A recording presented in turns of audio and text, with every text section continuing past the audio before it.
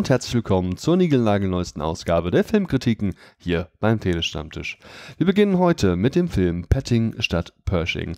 Diesen Film durfte ich mir glücklicherweise zu Hause im Stream angucken und die liebe Schlogger war so nett für uns in die Presseverführung zu gehen.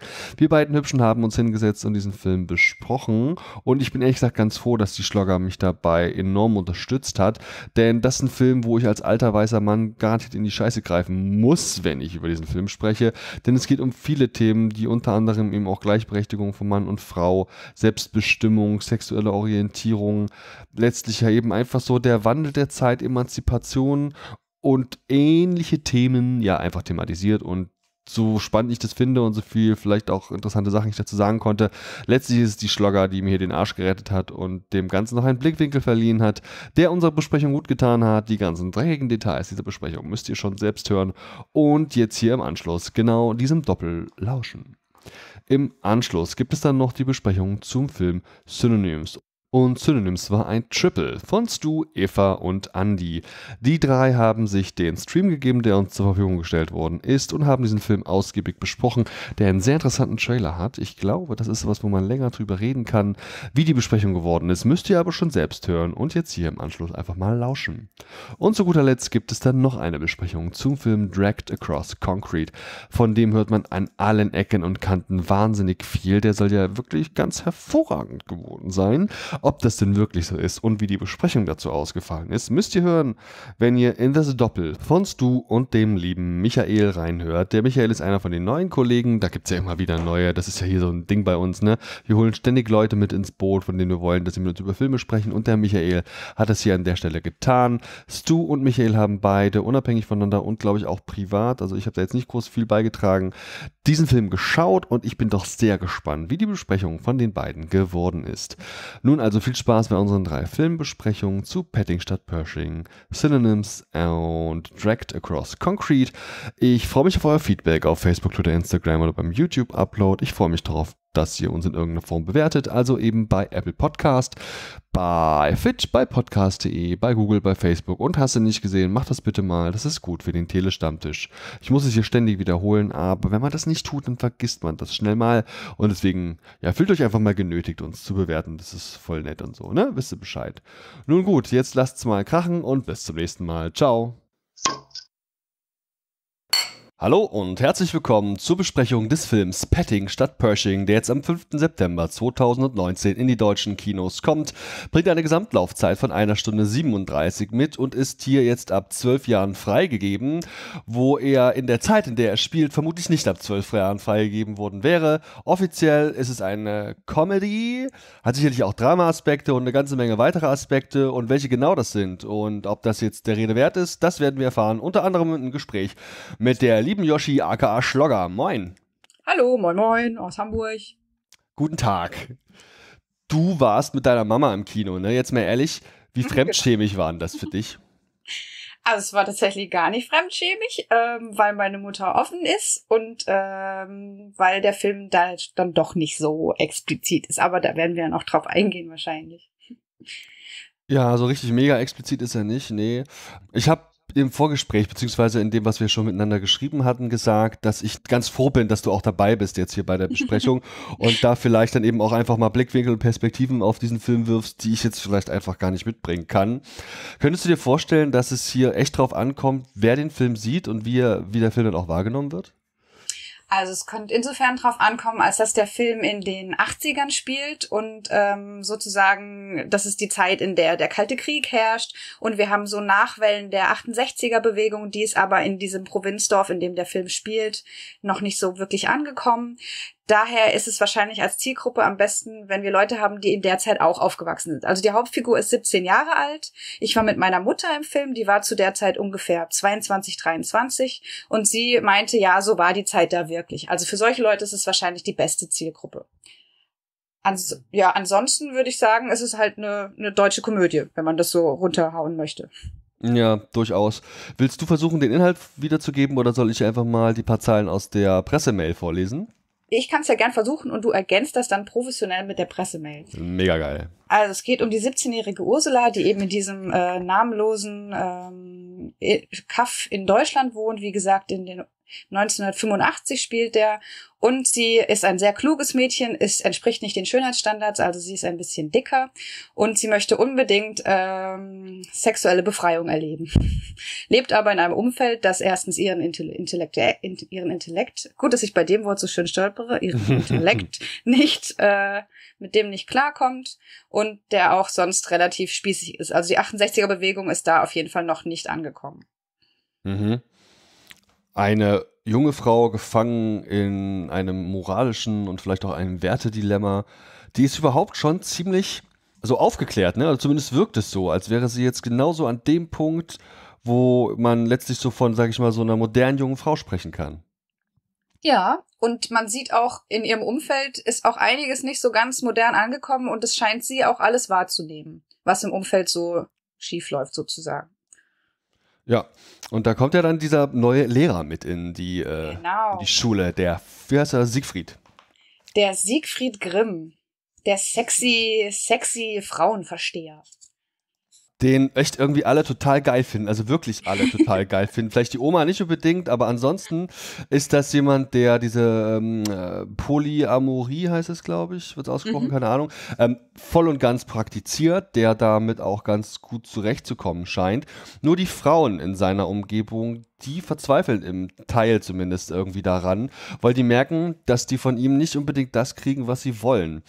Der hat also was mit Kolleginnen, der hat was mit äh, ja eben auch Protagonisten des Films und ähm, der hat, glaube ich, selbst in der WG, in der er wohnt, auch irgendwie sowas wie eine Freundin. Das wird mir jetzt gar nicht so klar. Dann hat er natürlich viele, viele One-Night-Stands und Affären und musste scheinbar auch aus genau diesem Grund von dort, wo er herkommt, irgendwie auch weg. Wahrscheinlich hat er sich einen schlechten Ruf gemacht.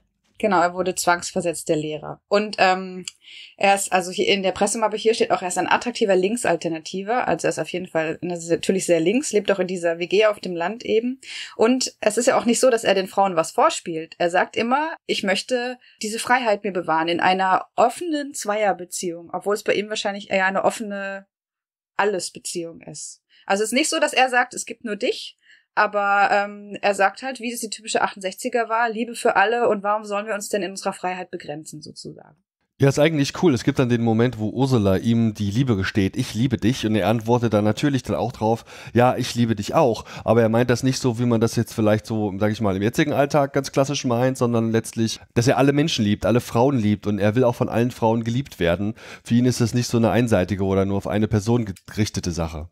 Genau, also für das Ich liebe dich, was er sagt, ist für ihn ganz anderes, nämlich das aus der 68er. Und für die Frauen in diesem Kaff, die eben so verklemmt äh, sind teilweise, ist es so eine befreiende, andere romantische Wirkung, dass die, dass er damit halt ziemlich viele Herzen erobert, zunächst. Ist eigentlich faszinierend. Ich kann mich nur ganz schwer in diese Zeit hineinversetzen. Du hattest da ja glücklicherweise eben ja deine Mutter, die dir da so ein bisschen was erzählen konnte. Aber den Eindruck hatte ich auch spätestens, als dann auch noch die zweite Kollegin bei ihm vor der Tür steht und ihn besser kennenlernen möchte. Die Frauen scheinen da alle auf irgendwas gewartet zu haben.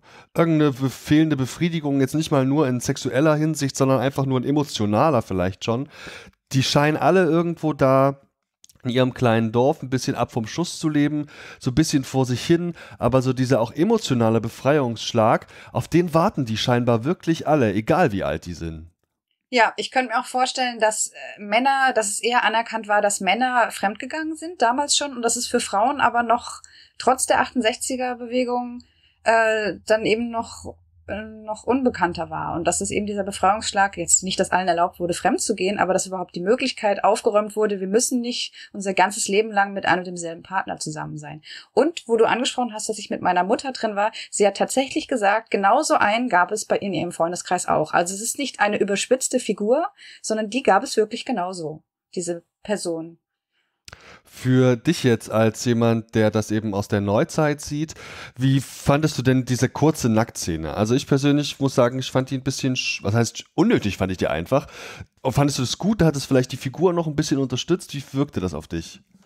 Du meinst, als Ursula auf den Hof kommt und er dann kurz in voller Pracht zu sehen Genau, ist. ja. Das passt doch gut zu, zu seiner Einstellung als äh, dieser 68er. Also das ist eben die FKK-Kultur. Das hat da gut zugepasst, ja. Ja, natürlich ist er jemand, der sich auch zeigen kann, so ist nicht, aber ich persönlich nicht, ich bin da immer irritiert. Insofern hast du halt einfach mal recht, dass das ihn auch als Charakter ein bisschen unterschreibt oder eben unter, unterstreicht. Wenn ich das gewesen wäre, ich hätte mir zack den Bademantel dann irgendwie über mich drüber geworfen, so, aber er ja, selbst stimmt. hat das ja gar nicht, dass er dann kurz irgendwie einfach ignoriert quasi, dass sie ihn jetzt gesehen hat. Ja, das stellt ja kurz schön auch diese Schamgefühle gegenüber. Diese eine Generation empfindet noch total viel Scham und die andere hat einfach dieses Scham überwunden, vielleicht auch schon in die extreme andere Richtung. Mhm. Dann haben wir ja noch den Vater von der Ursula, der Helmut. Ist übrigens ganz spannend. Wir wissen nicht so genau, es gibt hier scheinbar oder gab hier noch scheinbar einen zweiten Titel. Es ist aus Helmut und das ist so ein bisschen auch die Ausgangssituation, dass es da wohl im Hause Meier ein bisschen kriselt, der gespielt wird von Thorsten Merten, der liebe Helmut. Der Thorsten, also beziehungsweise eben die Figur des Helmut, das ist ja ein Arzt, der scheinbar viel arbeitet und irgendwie auch immer noch damit zu tun hat, dass sein Vater wohl im Krieg war. Das ist ganz faszinierend, weil das natürlich auch ein gutes Beispiel von einem Zeitzeugnis ist. Wir wissen bis zum Schluss nicht genau, was der Großvater, der über weite Teile des Films eine größere Rolle spielt, eigentlich im Zweiten Weltkrieg getan hat. Wir können es nur vermuten und Vieles wird so angedeutet und letztlich ist es dem Sohn aber super unangenehm und er überspielt das alles so, als wäre das letztlich eine Form von Senilität, wenn er irgendwelche, sagen wir mal, rebellischeren ähm, Antworten gibt oder versucht so ein bisschen vom Krieg zu erzählen und eben auch die schlechten Seiten des Kriegs darzustellen. Wie hast du das denn interpretiert? Also das war ja auch irgendwie, um darzustellen, dass die äh, Ursula, also die 17-jährige Protagonistin, dass die sehr klug und aufgeschlossen ist, weil wir auf der einen Seite die Eltern haben, die immer dieses verweigern, nee, das, der ist senil, was der erzählt. Und sie fragt aber immer nach, sehr oft im Film, was war denn im Krieg? Erzähl doch mal vom Krieg, was war denn da? Und dieses, dass es nicht ganz klar ist, was er da gemacht hat, würde ich, glaube ich, nicht so unterschreiben, weil es ja eine gegen Ende eine Szene mit ihm gibt, in der er ein recht eindeutiges ähm, Aussehen mit sich bringt, würde ich so sagen. Meinst du, er war ein krasser Nazi? Also er hat ja, wenn wir das so sagen können, er trägt ja eine Uniform ähm, am Ende. Das ist mir gar nicht aufgefallen. Das können natürlich. Genau, also er liegt da in dieser Pose, was ich übrigens sehr lustig fand. Also das haben die irgendwie sehr gut hingekriegt. Das war jetzt nicht übertrieben, sondern ich könnte mir vorstellen, dass sowas tatsächlich passieren kann. Da musste ich auch schmunzeln. Und er hat dann eben, er hat die, sich diese Uniform angezogen, ja. Er hatte eine andere, war so ein Hakenkreuz, so ein Fake-Hakenkreuz, dieses, dieses Kreuz da war an der, am Revers. Ach ja, gut, okay, na gut, dann ist es wahrscheinlich doch recht eindeutig. Ich habe da vielleicht mehr Gutes im Menschen gesehen, als da war. Alles klar. Das spricht doch auch für dich. Hm, wahrscheinlich das waren sicherlich so mit die wichtigste Figur. Wir können hier noch eine ganze Menge anderer Leute durchgehen. Es gibt noch die Mütter, es gibt noch andere Lehrer, es gibt noch Freundinnen. Wen davon würdest du dir denn vielleicht noch rauspicken oder denkst du, das waren jetzt die wichtigsten? Ja, also es waren schon die wichtigsten. Wir können noch kurz, es gibt halt so Klischeefiguren. Sie steht natürlich auf den, den sexy Badass Boy an der Schule. Sie hat eine beste Freundin, die total, im Gegensatz zu ihr, total stylisch und modern ist, die aber irgendwie auch am Anfang ihre Feindin, also, so wirkt, es war, war ein bisschen schwammig erklärt am Anfang. Die Figuren gibt's natürlich, ja, und sonst glaube ich, sind da keine relevanten Figuren, die man jetzt erwähnen sollte. Mhm. Schön finde ich generell, wie man das vom Setting her alles umgesetzt hat. Also man hat einfach, das ist einfach glaubhaft. Die Zeit, in der es spielt, ist glaubhaft. Wir haben nicht natürlich das, nur das ein oder andere alte Auto. Wir haben einfach auch Einrichtungen, wir haben Klamotten, wir haben eine alte Schule, wobei bei der Schule kann man wahrscheinlich nicht viel falsch machen. Die sehen heute wie damals aus. Aber das fand ich irgendwie ganz cool. Also es war einfach komplett glaubhaft, dass es in den 80ern spielt. Wurde eigentlich mal gesagt, in welcher Region Deutschlands? Also in irgendeiner äh, Mitteilung habe ich gelesen, es spielt in Hessen. Und ähm, das Nummernschild habe ich jetzt nicht nachgeguckt, aber es ist so in der Mitte Deutschlands. Also ähm, Orte, die erwähnt wurden im Film, die mir jetzt auch nicht einfallen, waren nicht so weit weg. Also ich glaube, Paderborn wurde mal erwähnt oder so. Also relativ in der Mitte Deutschlands. Auf jeden Fall in der BRD aber. Mhm. Okay. Und zu dem, ähm, was wir gerade hatten mit dem Opa, die Regisseurin ähm, Petra Luschow, das ist ihr erster Langfilm, Petting statt Pershing, und die hat vorher einen Kurzfilm gemacht, der 13 Minuten lang ist, der hieß Der kleine Nazi, der auch ähm, Preise gewonnen hat. Und da geht es eben auch darum, es spielt an einem Weihnachtsfest und die Oma lässt dann zu dem Weihnachtsfest die Nazi-Weihnachtszeit wieder aufleben, obwohl ein Besuch äh, aus Israel ansteht. Und wie diese äh, Dinge dann aufeinanderbrechen, das ist dann, um das geht's in dem Kurzfilm Der kleine Nazi. Das heißt, es ist ein Thema, mit dem die Regisseurin sowieso schon gearbeitet hat. Anscheinend. Ja, der hat wohl, wie du sagst, wohl auch einige Auszeichnungen bekommen, finde ich großartig. Ich habe keine Ahnung, ob wir den Blindlings empfehlen sollten oder nicht, aber so eine Auszeichnung ja. ist ja immer so ein Indiz. Weißt du, was ich mich gefragt habe, und das habe ich hier auch mal gegoogelt, und ich habe jetzt einen Interpretationsansatz, und zwar geht es mir um den Titel. Mhm. Der ist ja letztlich Petting statt Pershing. Petting kannte ich vom Begriff her, aber Pershing hatte ich echt noch nie gehört. Und habe da, ähm, hattest du Pershing schon mal gehört vorher? Sagt dir das was? Tatsächlich auch nicht. Ich habe dann meine Mutter gefragt und sie hat die Frage beantwortet, als würde man das selbstverständlich wissen, wenn man zu der Zeit gelebt hat. Okay, keine Ahnung.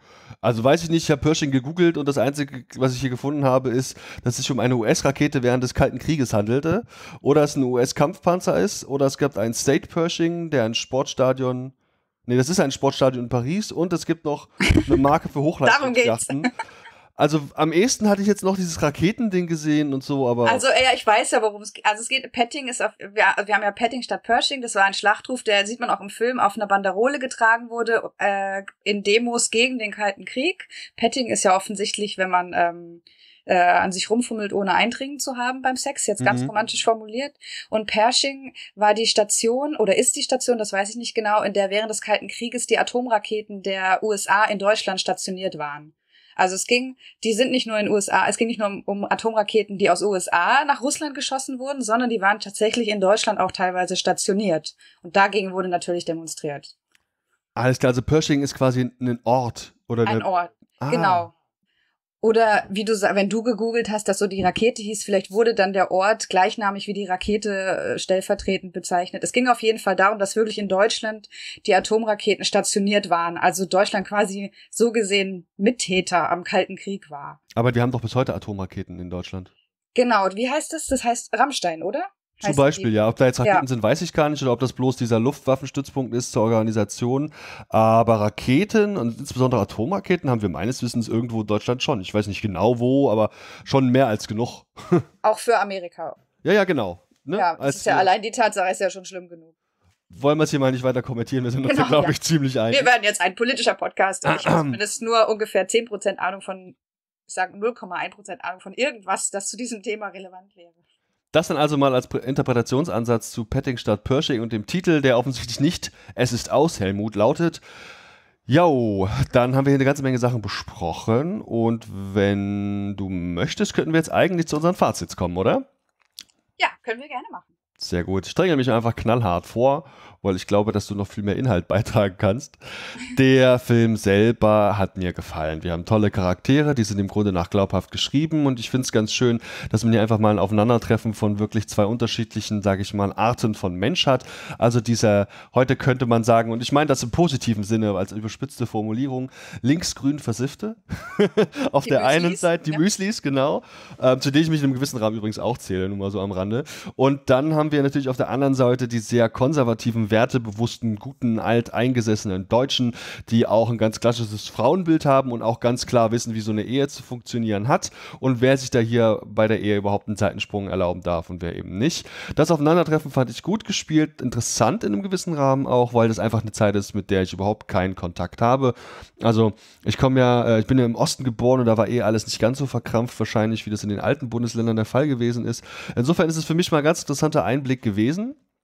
Und ja, fand die Charaktere toll, fand vieles an dem Film toll. Den kann man echt gern mal so laufen lassen. Gerade für einen schönen Abend auch mal zu zweit irgendwie abends. Ein Kinobesuch, finde ich, muss, äh, muss man dafür nicht unbedingt machen, denn letztlich ist da also ich weiß nicht, ob da in dem Film irgendwelche Bilder gewesen sind oder irgendwas soundtechnisch, das so emotional krass war, dass es jetzt einen Kinobesuch lohnen würde. Aber wie gesagt, für zu Hause ist der super cool. Wer eben auch Eltern hat, ich glaube, das war eine richtig gute Idee von dir, den mit deiner Mutter zu sehen. Wer Leute aus der Zeit hat, der könnte sich da auf jeden Fall auch echt wohlfühlen. Ja, und insofern kann ich, weil es hier und da echt auch mal ganz lustig und sogar ein bisschen überraschend war, äh, gut gemeinte vier von fünf Punkten geben. Und ich denke, das war's dann von meiner Seite aus. Wie sieht's bei dir aus? Also bei mir war es so, ich, also es war ein guter deutscher Film, auch interessant erzählt. Der Film fängt ja an mit, was wir jetzt noch gar nicht gesagt haben. Wir sehen, wie eine vermummte Figur, das dann Ursula ist, stellt sich schnell heraus, ein, eine Person in einem Sack über einen Acker zieht. So fängt der Film an. Dass man sich schon fragt, huch, was ist denn da passiert? Was hat denn das mit dem Film, deren Inhaltsangabe ich gelesen habe, zu tun? Das war schon relativ spannend. Ansonsten, ja, die Figuren sind gut geschrieben. Es gibt schöne Szenen, die zu der Zeit gut passen, zu der ich ja auch nicht so viel äh, Verbindung habe, bis auf meine Mutter eben, die mir dann danach gesagt hat, ja, genau so war's. Aber ich fand, der Film teilweise war er sehr flickwerkig. Also ich habe das Gefühl, dass der Schnitt da ein bisschen was versaut hat, wie auch immer die Regisseurin damit reingesprochen hat, dass manche Szenen aneinandergereiht waren, die so in der Reihenfolge für mich keinen Sinn ergeben haben. Also jetzt als Beispiel, wir sehen, dass Ursula etwas lernt, als sie auf dem Hof steht und sieht, wie viele äh, Männer jetzt äh, Siegfried Grimm, äh, wie viele Frauen, oh Gott, wie viele Frauen Siegfried Grimm eigentlich beglückt. Und dann ähm, betrinkt sie sich ja auch sozusagen. Man denkt, sie hat es jetzt gelernt und dann kommt aber noch mal eine Szene, in der sie es noch mal äh, in Anführungsstrichen lernt, als als äh, als hätte sie, als hätte es die Szenen davor nicht gegeben. Und so waren dann manche Sachen, die mich ein bisschen verwirrt haben, also die erzähltechnisch für mich äh, schnitttechnisch nicht funktioniert haben. Deswegen war ich ein bisschen enttäuscht von dem Film von der Erzählweise her. Meine Mutter fand ihn aber sehr gut und sie ist ja wahrscheinlich da die, die bessere Aussagekraft. Ähm, dazu sei auch anzumerken, im Abspann war ein Posten, den ich noch nie gesehen habe in einem Abspann. Und das war auch eine nette Szene im Film, die meine Mutter gesagt hat, genauso war es. Es gab nämlich eine Apokalypse-Strickerin im Abspann. Mhm. Ähm, und es wurde, also die Apokalypse wird in diesem Film gestrickt und meine Mutter meint, genauso war es. Wir haben auch solche Dinge gestrickt. Wir haben alle gestrickt, auch die Männer haben immer gestrickt und das fand ich sehr lustig. Deswegen würde ich sagen, ich äh, würde dem Film eher Richtung drei von fünf geben oder sogar noch ein wenig schlechter, da er eben so komisch erzählt war teilweise. Aber für meine Mutter, die fand den sehr unterhaltsam. Deswegen werden wir wahrscheinlich zusammen auch eher Richtung vier tendieren. Okay, sehr gut. Dann äh, vielen Dank an deine Mutter auch nochmal, die ja quasi so gefühlt Teil der Besprechung gewesen ist. Und Gebe ich weiter. Liebe Grüße auch an der Stelle. Ich möchte dir auch immer die Gelegenheit geben, dass du mal ein bisschen Eigenwerbung machst. Denn, das muss man an der Stelle mal sagen, du robbst hier echt eine Besprechung nach der anderen weg. Also was du hier an Beiträgen für den Telestammtisch in den letzten Wochen und Monaten gezaubert hast, das passt echt auf keine Kuhhaut mehr. Ne? Und äh, was du nie machst, weil du dir da wahrscheinlich, das hast du nicht nötig, aber ich möchte die Gelegenheit trotzdem einräumen. Du machst dir selber auch eine ganze Menge Sachen. Du bist selbstständige, selbst freiberufliche heißt glaube ich, Illustratorin. Vielleicht kannst du mal so ein bisschen was anteasen. Wo kann man dich eigentlich so finden? Was kann man von dir kaufen? Kaufen? Was gibt's da an geilem neuen Scheiß? Oh, das ist aber sehr nett von dir. Also, es gibt geilen alten Scheiß. Ähm, und zwar heiße ich Johanna Baumann, bin aber auch Comiczeichnerin Schlogger, was ich ja oft an den äh, Intros sage. Ich habe ein Buch gezeichnet über Trennungsgeschichten, das heißt danach, kann man überall kaufen oder überall bestellen. Danach zehn wahre Trennungsgeschichten, dann das war meine Bachelorarbeit. Dann gibt's eine Masterarbeit, das die heißt Streitsam und das finde ich ein sehr tolles Buch, also da bin ich wirklich stolz drauf. Es geht um, wie man als Menschen und vor allem als Paar besser kommuniziert und besser streitet. Also die zwei Werke würde ich empfehlen, aber da wir hier hoffentlich auch Nerd-Zuhörer haben, äh, habe ich auch, äh, ich habe zwei Cartoonbücher zu Star Wars gezeichnet, offiziell sogar unter LucasArts bzw. Disney. Also wurde wirklich von ähm, von George Lucas persönlich drüber gelacht. Mhm. Spaß Wars 2 und Spaß Wars 3. Und aktuell könnt ihr mich natürlich auf Facebook, Instagram, Twitter, auf meiner Website Schlogger alles verfolgen. Und äh, für die Comic-Fans, da hier auch Comics besprochen werden, ihr kennt bestimmt Ralf Rute, den Cartoonisten. Und mit Ralf Rutes Frau habe ich ein Buch äh, gemacht. Also sie hat es mit Jasna Jaga, einer Freundin, geschrieben. Ich habe es illustriert. Das heißt Wahnsinn, mein erstes Jahr als Mama. Das kam jetzt dieses Jahr raus, ist schon in der dritten Auflage gewesen nach einem Monat und da machen wir gerade das äh, Folgewerk dazu. So, Werbung, Ende. Danke für die Möglichkeit. Das ist auch geil. Da von diesen, gerade das letzt angesprochene, davon gibt's auch gelegentlich mal Ausschnitte auf, ich weiß nicht, ob das jetzt Instagram war oder Twitter, kann das sein? Ja, das verwechseln viele Leute tatsächlich. Also das, was ich auf Instagram zeichne oder überall hochlade, der Babyclub nenne ich das. Das ist eine, sind Comics über meine Schwangerschaft, obwohl das Kind schon äh, etwas älter ist. Ich bin ein bisschen dran. Und das hat tatsächlich nichts mit dem Buch mit Tina Rute zu tun. Ah ja, okay. Genau, aber das muss ich irgendwann mal klarstellen. Also ich merke schon, da liegt ein Kommunikationsfehler meinerseits. okay, cool. Dann vielen, vielen, vielen, vielen Dank für deine Zeit und das nette Gespräch. Und ich wünsche dir weiterhin viel Erfolg und freue mich natürlich auf die nächste Besprechung, die wir zusammen haben werden. Genau, dann bis zum nächsten Film. Bis dann, ciao. Tschüss. Hallo, willkommen beim Telestammtisch zur Besprechung des Films Synonyms. Ich hoffe, ich habe das jetzt einigermaßen richtig ausgesprochen. Ähm, ich bin der Stu und heute an meiner Seite ist zum einen die Eva. Hallo Eva. Hallo. Und gefühlt 10 Zentimeter neben Eva ist der Andi. Hallo Andi. Bonsoir. Oh, ein kleiner Angeber. Oh, oh, oh, ja. Ich war gerade erst in Frankreich, deswegen ähm, dachte ich, ich muss hier mal ein bisschen zeigen, was ich da gelernt habe. Baguette. Ja, Come on Bear. Come on, Bär. Ja wir, ja, ja, wir machen jetzt schon mal Werbung für unseren Französisch-Lern-Podcast vom Telestammtisch. Die nächsten 20 Minuten Grundkurs. Ja. Genau. Ja, ähm, Synonyms, unser heutiger Film. Andi, kannst du uns ganz kurz die Fakten mal sagen? Aber klar, der Film Synonym kommt äh, am 5. September 2019 in die deutschen Kinos. Regie und Drehbuch stammt von Nadav Lapid. Das ist ein israelischer Regisseur. Und der Film ist eine israelisch-französisch-deutsche Koproduktion. Und die hat äh, im Februar war es, glaube ich, auch schon den Goldenen Bären auf der Berlinale gewonnen. Übrigens. Das ist richtig, ja. Genau, der Film ist ab zwölf Jahren freigegeben, dauert äh, gute zwei Stunden und es spielen mit Tom Mercier, Louise Cheviot und Quentin Dolmer. Oder so? ich lasse das gelten so, ja.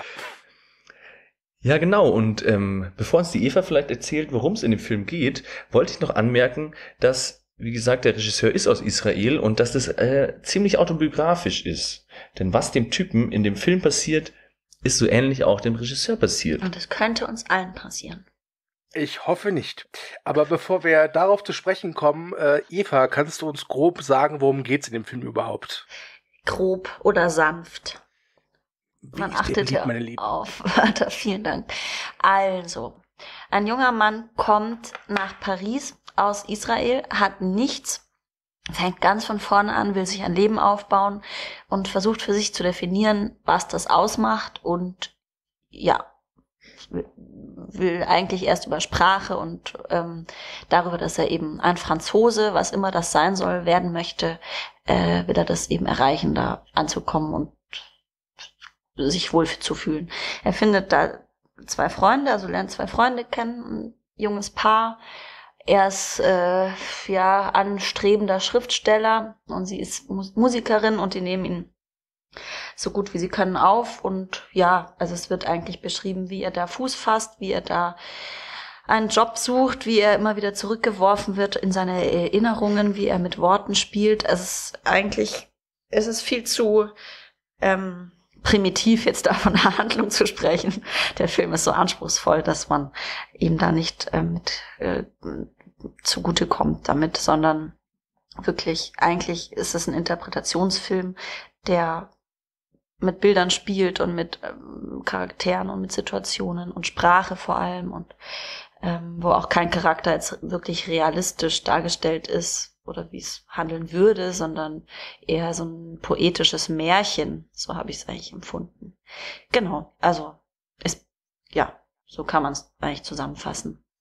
Vielen Dank. Ähm, was mir sofort aufgefallen ist beim Film, der Film beginnt ja mit so einer mit einem Point-of-View-Shot, aus seiner Perspektive, ähm, so dass wir also als Zuschauer quasi seine Sicht haben. Und diese Art von Shots gibt es regelmäßig. Und äh, ich, es ist, was mir aufgefallen ist, außerhalb dieser Point-of-View-Shots gibt es, glaube ich, keinen einzigen Moment, in dem dieser Joaf, so heißt dieser Israeli, nicht im Bild ist. Oder ist euch eine Szene aufgefallen, wo er mal nicht im Bild ist? Puh, da müsst ihr jetzt nochmal. Ich deute das mal als Ja, Sebastian, du hast recht. Du hast bestimmt recht, wie immer.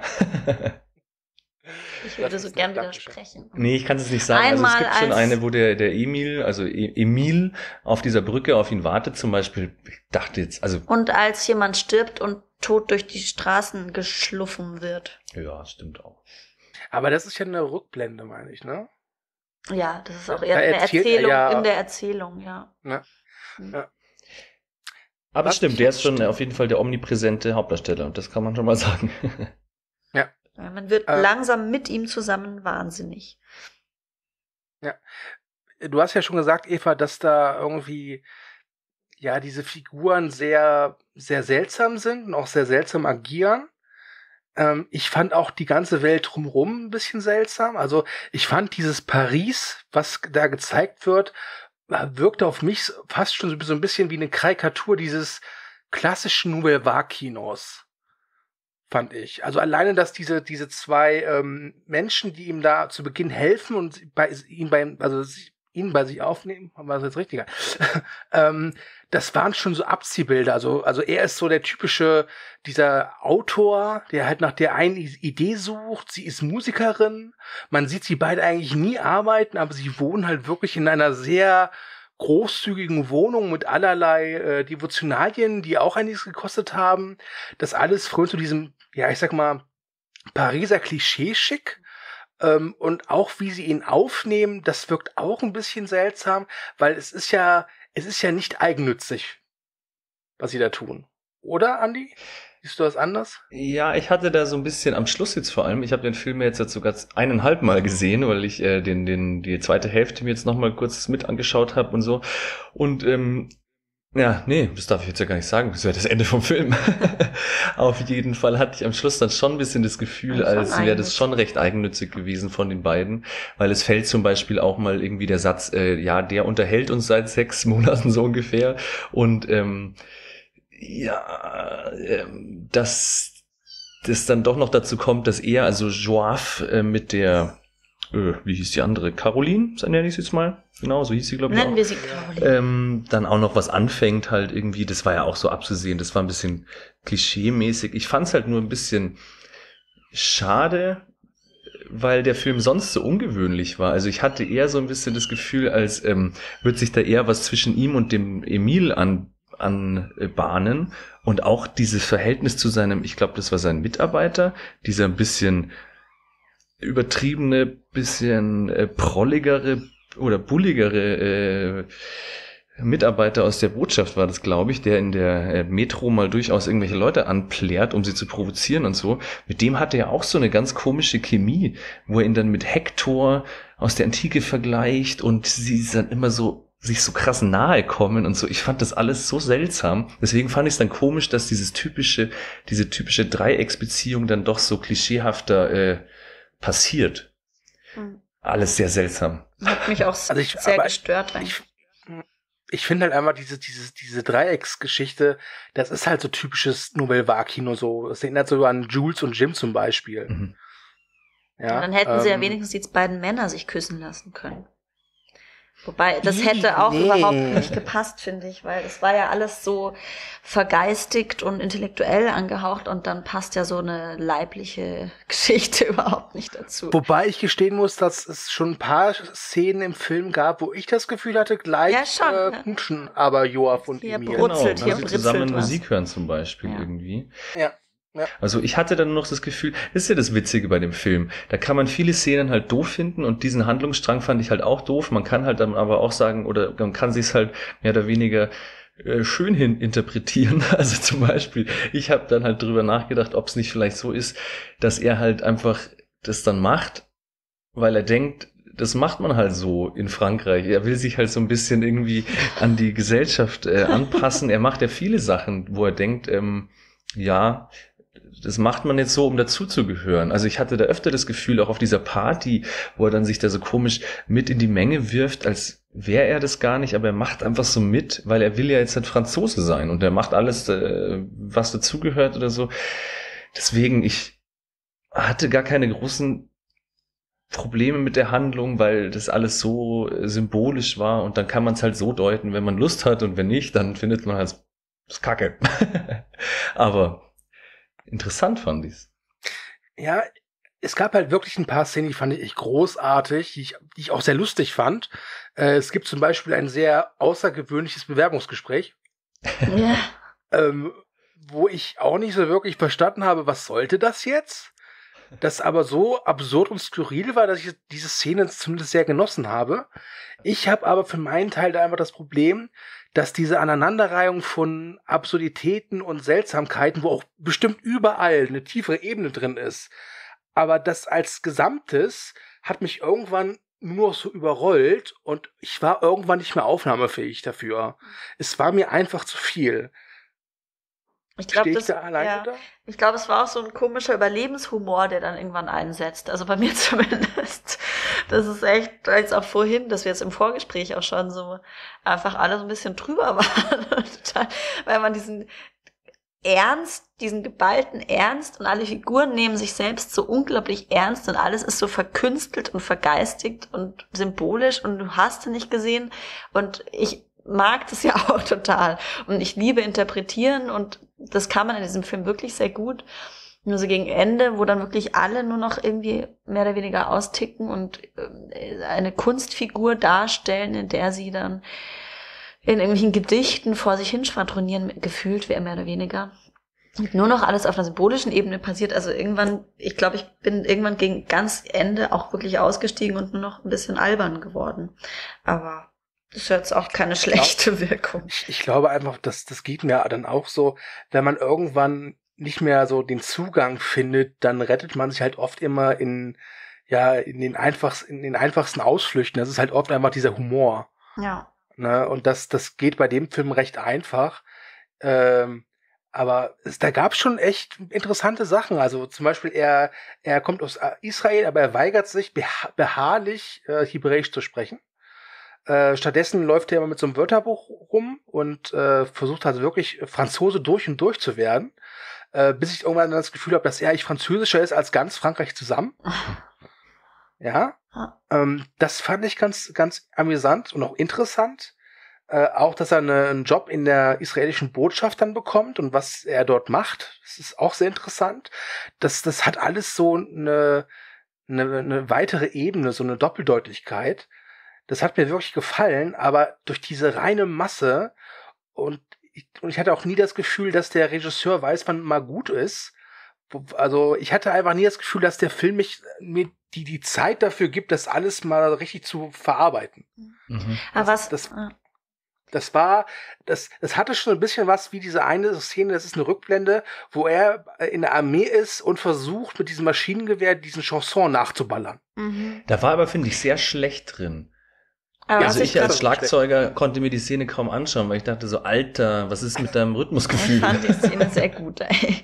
ähm, nee, das war genau auch was ich aber auch gut fand, diese Verdichtung in dem Film, wo wirklich dieses Thema irgendwann sowas, was er glaube ich auch darstellen wollte, sowas Aggressives bekommt. Also was das eigentlich für eine, so eine Gewalt hat, dieses gezwungen sein oder sich einfach anpassen zu wollen und man kann es nicht oder, oder man ja, vergewaltigt ist ein starkes Wort jetzt, aber also man tut sich selbst quasi Gewalt an und zwängt sich da in so eine Rolle ran, die man glaubt erfüllen zu müssen. Und dieses, ja, dieses Gewalttätige, was man sich selbst eigentlich antut oder angetan bekommt durch die ganzen Auflagen oder was man erfüllen muss, das fand ich sehr gut eigentlich dargestellt. Vergewaltigen ist auch noch ein ganz schönes Stichwort, ähm, ähm, was er alles dafür tut, um halt da irgendwie anfangs auch ähm, über Wasser zu halten. Tut mir leid, aber Vergewaltigung ist ein schönes Stichwort, klingt irgendwie nicht gut. Habe ich, hab ich schön gesagt oder gut? Ein schönes. Ach so, ja, ein schönes. Es tut mir leid. Es ist kein schönes, es ist ein gutes Stichwort, um auf eine andere wichtige Szene ähm, zu sprechen es nicht zu kommen. Besser. Ja, so brechen wir den Podcast ab. Nein, ihr wisst doch schon, was ich meine. Auf jeden Fall ähm, äh, macht er einiges, um halt an Geld zu kommen in dieser ersten schwierigen äh, Ankunftsphase irgendwie. Und ähm, das wollte ich nur noch als Überleitung sagen, wer sich halt äh, Lust hat, den Film anzuschauen. Es gibt, finde ich, äh, sehr viele sehr unangenehme Szenen die entweder halt ähm, ja, drastisch sind oder auch einfach unangenehm, wie diese, diese Met Metro-Szene irgendwie. Und was mir dann auch noch irgendwie aufgefallen ist, dadurch, dass er halt, ähm, oder dafür, dass er halt da gerade erst angekommen ist und die ganze Zeit mit seinem Wörterbuch rumläuft und eigentlich gerade dabei ist, Französisch zu lernen, äh, versucht er sich die ganze Zeit so mega poetisch und äh, gehoben auszudrücken irgendwie. Und ich konnte das nicht nachvollziehen, weil mein Französisch ist nicht so gut. Aber für mich klang das doch eins 1a eigentlich, oder? Akzentfreies Französisch irgendwie. Aber doch sagen öfter Leute zu ihm, dass er so einen witzigen Akzent hat und so. Und das konnte ich dann nicht so richtig greifen, diese, ob es dann auch irgendwie ein Gag oder irgendwie was Interessantes mit der Sprache in dem Film gab, weil ich habe halt einfach die Untertitel gelesen. Aber mhm. ich glaube, es hat ihm halt einfach nie genügt. Also er hatte nie das Gefühl, er kommt an und hat es dann immer noch verbissener und verkrampfter versucht. Und das war so dieses, deswegen auch die vielen Symbole für eine Sache. Also weil er jetzt auch diese Freiheit vielleicht hatte, das so zu fühlen und da gibt's dann so viele Erlebnisstufen, wie man eine Situation beschreiben kann und das hat ihn, glaube ich, überfordert. Also und dann auch in seiner Sprache kennt er vielleicht auch ganz viele Wörter dafür, aber in der Fremden lernt er dann so nach und nach diese ganzen Zustände kennen, wo er sich vielleicht in seiner alten Heimat nur ein Wort leisten konnte, weil er einfach mit Überleben beschäftigt war. Und jetzt Ach, hat er als, jetzt hat er ähm, diesen Luxus und kann sich da so viele Möglichkeiten. Ja, kann sich selbst entdecken und die Sprache entdecken auf so vielen Ebenen und deswegen gibt's dann so viele verschiedene Begriffe für das, was er erlebt hat eigentlich. Im Prinzip kann man es auch so deuten, halt, äh, dass er immer versucht, halt Franzose zu werden, aber es ist einfach nie wirklich schafft, weil es vielleicht letztlich auch egal ist, weil, seien wir ehrlich, man letztlich ist doch scheißegal, ob er jetzt Israeli, Franzose, Portugiese äh, oder, oder Däne ist. Er ist halt ein Mensch. Er hat sich halt so da drin verrannt, einfach. Genau. Wunsch. Ja, ich finde es halt auch irgendwie ganz interessant, dass man, ähm, ach nee, ich will jetzt eigentlich nicht zu viel spoilern, obwohl bei dem Film finde ich es gar nicht so wichtig. Also Handlung, ich finde es ja eher, das, den muss man so auf sich wirken lassen.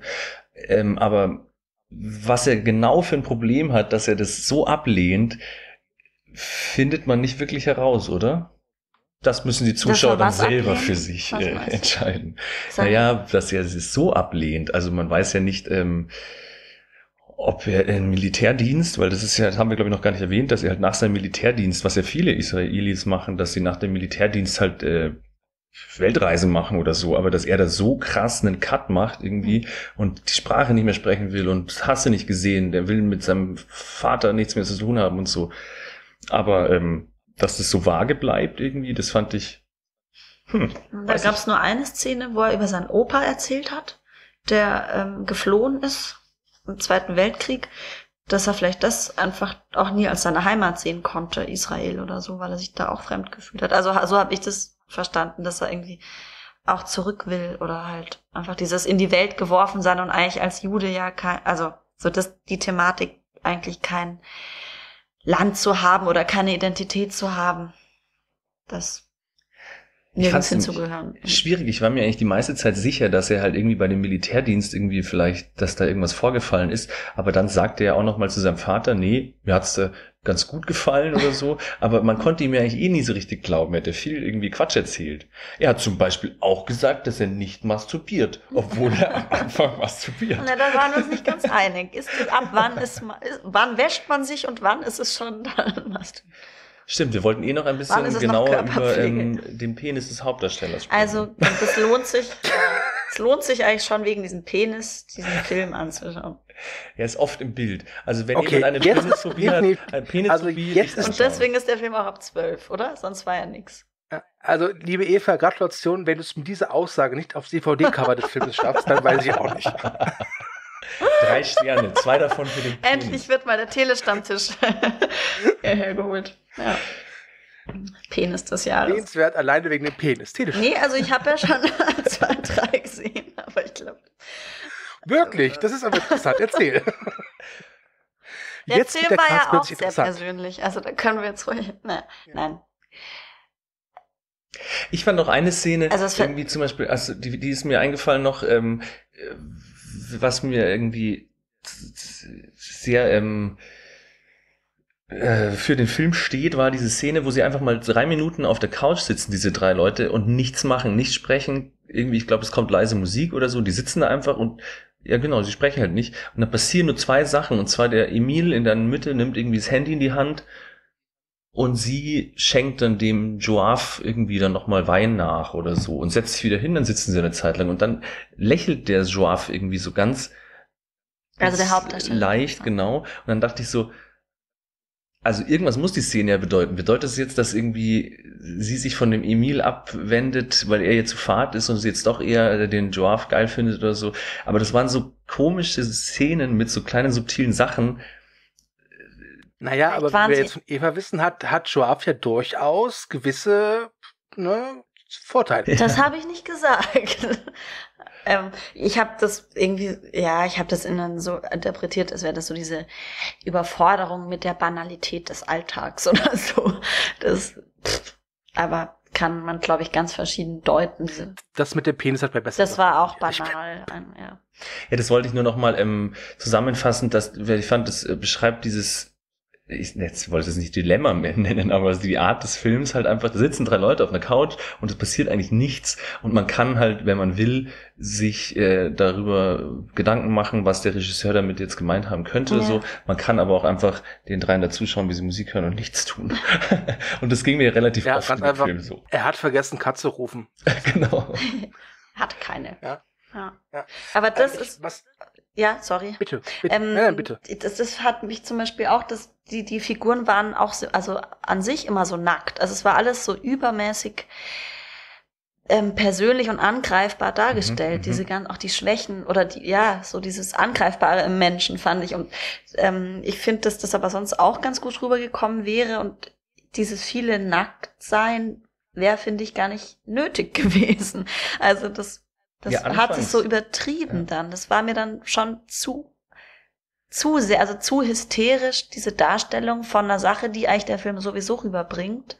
In diesem ständigen, ja, ich bin angreifbar, ich bin nackt, ich erfriere, also so die erste Szene. Da fand ich es schön, wenn die es dabei belassen haben, weil das war halt noch äh, symbolisch so ja, für die Neugeburt und so. Er hat halt nichts mehr, bei dem alles geklaut wurde und dann ist es halt, jetzt will er eine Neugeburt in Frankreich mehr oder weniger mhm. so ungefähr. Das fand ich noch ganz schön, so als Bild, aber wenn er natürlich alle 20 Minuten nackt ist, dann verliert ich das find, seine das Wirkung. hat sich dann irgendwann zur Schwäche genau, entwickelt. Ja. Also, also so allgemein der, im ganzen Film dieses ständige, so die, also diese Bloßstellung eines einer Person oder eines, ja, dieses geworfen sein und hilflos und das dann in so einer künstlerischen Form darzustellen, das hat mir irgendwann war mir das echt too much. Also, und da war dieses Nackt-Symbol nur eine Symbolik in sich in dem Film. Aber ja, so bis zur Hälfte hat er mir sehr gut gefallen. Will ich schon mal vorab sagen. Ähm, ich würde noch gerne ein paar Worte verlieren über Tom Mercier, den Hauptdarsteller, den Darsteller des Jorf und nicht nur über sein Geschlechtsteil. ähm, denn, also ich, ich kannte den Darsteller vorher nicht. Ist auch sein erster Film glaube, übrigens. Der hat davor nur Theater gemacht.